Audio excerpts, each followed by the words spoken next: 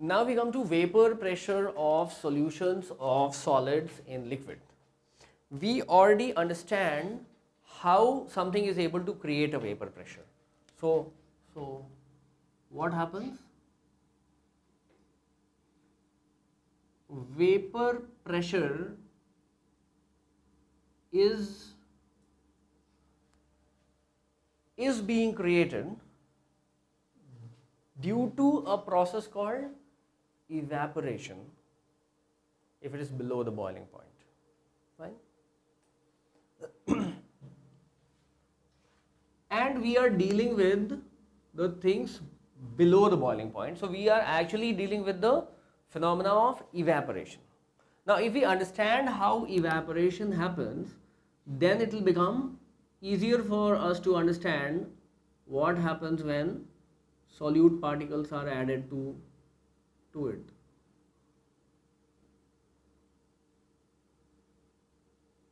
So below is the bulk of the liquid and what I have shown here on the surface is the molecules of the liquid obviously spread over a surface.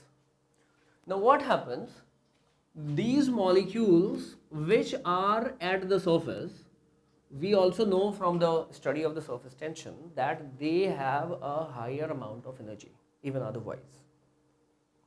Okay? Now they are better placed to receive energy from the ambient and they receive sometimes so much of energy that they get ejected out. Even before we reach the boiling point so while boiling is a bulk phenomena, okay, evaporation is a surface phenomena. Okay, boiling, boiling is a bulk phenomena. Volume, the whole volume will evaporate. So that's a good question volume phenomena okay? This is a volume phenomena. That means if you boil if you if you boil the liquid then what happens? Every molecule of it will get get evaporated okay? It will it will turn into a vapor phase. But if it is it is evaporation it is only the surface molecules which will which will escape. Fine it's another matter that after the surf this surface moves out, hmm, the, the, the molecules from the bulk come up and then they get evaporated. But at one time, it will be only those molecules which will be the surface molecules which will be gaining enough energy to actually escape the, the cohesive force of the liquid. You get the point? Hmm, hmm, hmm. Yes. Because, because you every molecule has gained as much as much uh, energy that it, it is it is capable of escaping into the atmosphere. Now the the proof of this is if you spread your clothes in in in in, in the sun they dry faster than than when you keep it uh, say say kind of collected at one place okay you just just put it as as you take it out from the washing machine or maybe a bucket. Just put it like that. It will dry slower. If you spread it it will dry faster. If if you take take say a tumbler and put water same amount of water and you take say a, a flat dish same amount of water the flat dish will uh, make the water evaporate faster. Why? Because you have actually increased the surface area. That is all you have done. Hmm? so you spread it it will get dried.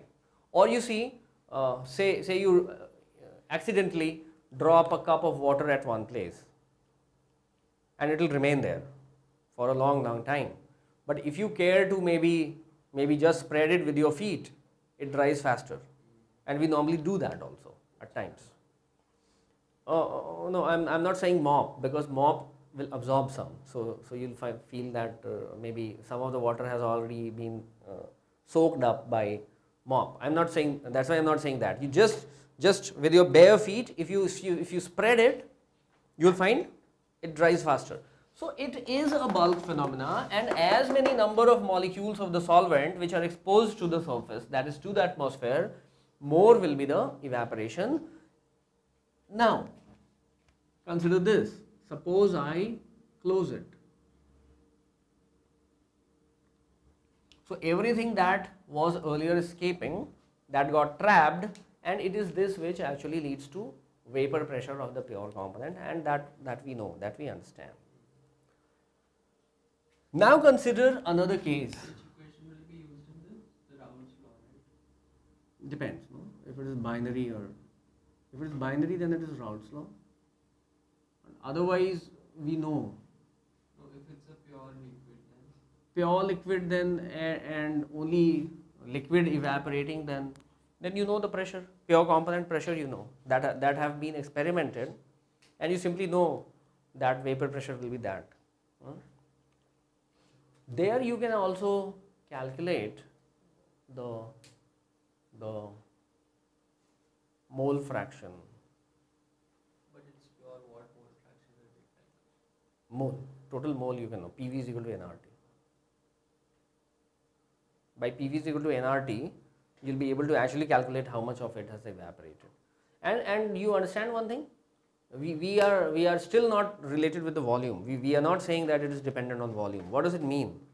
It means that if it is a more spacious container, more of it will evaporate, and it will ultimately ultimately lead to the same amount of vapor pressure. Mind that. So it's independent of volume in a sense. So you, you put it in, in, in a jar that is this small or you put it in a big bell jar, the pure component will be yes. Because because that tendency to to evaporate remains the same. It increases with the volume. So so while boiling was a bulk phenomena, uh, our uh, evaporation is evaporation is a surface phenomenon.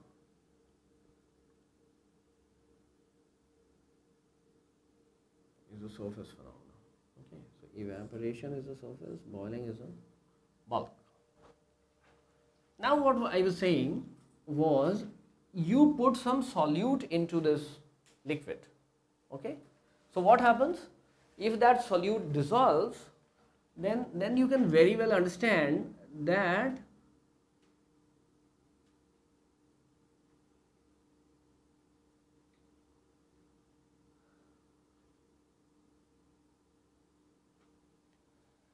that some of the at some of the places you have you have the solute particles. Okay? You have the solute particles. And what happens? Instead of this at some of the places you have the solute particles. And if it is closed what happens? If the solute is absolutely involatile what happens it actually reduces the surface available to be occupied by the solvent molecules you understand that Hmm? it reduces the surface area I am showing it in a line, right? It is actually a, a, a, a surface, fine? So, so it actually reduces and if the solute itself is not, not volatile, then what happens? the amount of evaporation will go down. Correct? So if you if you have say money plant in your house and you do not want want to fill water into that put some say half a teaspoonful of sugar into it. It will evaporate. you have to keep on refilling no? It keeps on evaporating.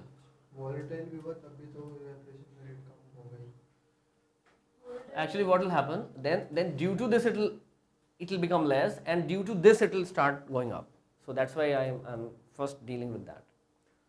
What happens if that is also volatile? Then what happens? The the the contribution of the black one, that is the solvent, that starts going down and the solute starts coming up. In fact, that is what is happening with rods now. No, you, you don't know. you don't know. If what you have put in is more volatile, But you are saying that it's a non-volatile solute. Then no, then, then, that's what I'm saying. That's what I'm saying. This is actually solid in that and normally solid particles, they are not volatile. But if it was liquid, uh, it will become Raoult's, right? No, that's what. Because in Raoult's, we, we, we feel that all the liquids are kind of vaporizable. So, so it becomes Raoult's, no? That depends. That the, uh, if the vapor pressure increases or decreases. Huh, It'll increase if this is more volatile than that. And it will decrease if it is less volatile than that. But if I am talking about the solid, then solid particles just by taking away, away uh, taking away the space taken by the solvent particles, do not let it vaporize, and hence they'll suppress the suppress the the vapor pressure. Correct? If we put But there will still be some uh, solvent molecules, right? That's what. That's why I'm saying it is. It'll suppress it. I am not saying it'll kind of uh, yeah eliminate it. I'm not saying that. Hmm. Where here? there up. you- Here, yeah, yeah. So here I have maybe uh, earlier it was kind of so many. Then due to the due to the taking of the space by these solute particles, the lesser number will evaporate, and hence the vapor pressure will go down. So if we put a solid solute solid solute in in the solvent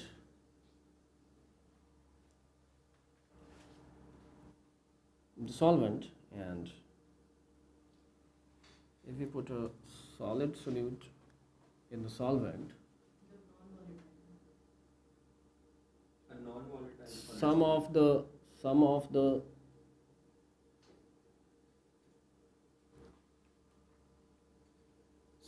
surface of the liquid in contact with air is taken up by the solute particles. Is taken up by the solute particles particles and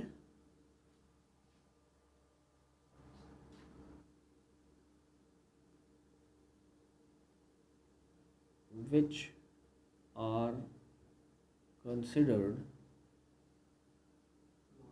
non-volatile. Non-volatile here. So so some of the surface of the liquid in contact with air is taken up by the solute particles and the number of solvent particles in contact with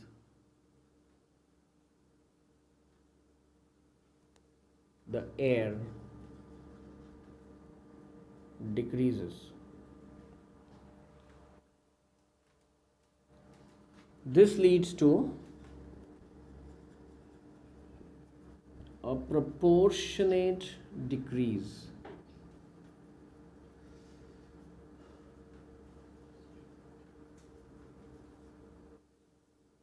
decrease in this leads to a proportionate decrease in the vapor pressure of the solvent. We get the point. Why? Why? Why does that happen? In the gaseous phase, since in gaseous phase PV is equal to nRT. You understand? So P hmm, of the solvent. That is the water, no? Solute is the solid. Now in gaseous phase, what happens? P is equal to nRT upon V. V is constant, R is constant, T is constant. So why is your pressure pressure increasing? Why was the pressure increasing here? Just because the number of molecules was going up, number of moles, right? This is number of moles. Now what happens? The number of moles has gone down. The pressure will decrease. The pressure will decrease. Directly proportional. Huh. This is this comes from the gas law. That's all. Okay. Because it is directly proportional to the number of molecules which are evaporating at any any point of time. Okay.